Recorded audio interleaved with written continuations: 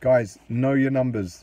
This is often the missing link when it comes to achieving amazing results with your fitness goals. Now, if you look at your your business, doesn't matter what line of work you're in, any business will track progress. They know their numbers. Well, they should do anyway. You know, how can you track performance? Every business knows how much revenue they're generating, what their business expenses are. As an employee or a business owner yourself, you need to know how many sales you're making, how many leads you're generating on a daily basis. This, these are all ways of tracking performance.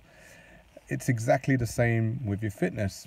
If you want to get stronger, you need to know how much weight you're lifting and you need to keep a track of that. If you want to lose weight, you need to keep track of your your weight.